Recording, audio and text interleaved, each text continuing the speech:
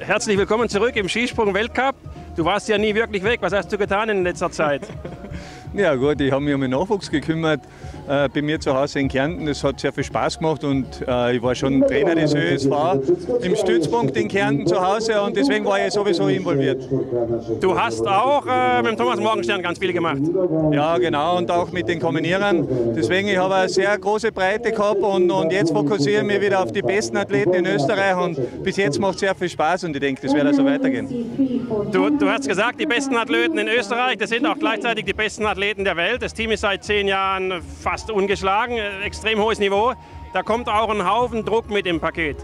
Ja, ich, ich sehe das so, ähm, äh, wir können mit den weltbesten Athleten arbeiten und äh, das ist auch das ganz große Ziel, was wir haben, damit wir alle zusammen gemeinsam am selben Strang ziehen und äh, wenn sich die weltbesten Athleten gemeinsam entwickeln, dann kann, ich, kann man sicher sein, dass wir die nächsten Jahre auch wieder den notwendigen Erfolg, der was eh die letzten Jahre auch da war, fortführen können. Ihr seid jetzt geschlossen hier als Mannschaft nach Wisla gekommen. Das war in den vergangenen Jahren nicht so im Sommer. Ist das schon ein erstes Zeichen, dass du von, von der Trainingssystematik was ändern möchtest? Ja, ja, das, das haben wir schon geändert. Äh, wir haben ganz klar fokussiert, gewisse Wettkämpfe im Sommer mitzumachen. Das brauchen wir für die Entwicklung. Wir können da immer wieder überprüfen, auf welchem Stand dass wir sind.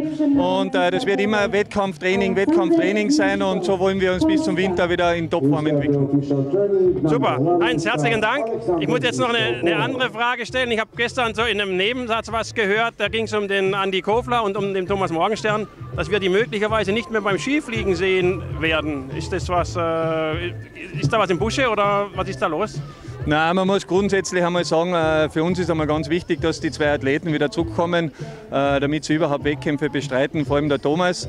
Äh, sie kriegen die Ruhe, sich dort zu entwickeln und man wird es sehen. Und ich bin mir sicher, wenn sie selber davon überzeugt sind, dass sie ein gutes System haben, damit sie wieder richtig wettkämpfen können, dass wir beide sehen werden im Weltcup zurück. Ich danke dir, Nummer 1 und viel Erfolg jetzt hier in Wisla. Alles Gute. Dankeschön. Ja, danke. Holst uns die Daumen.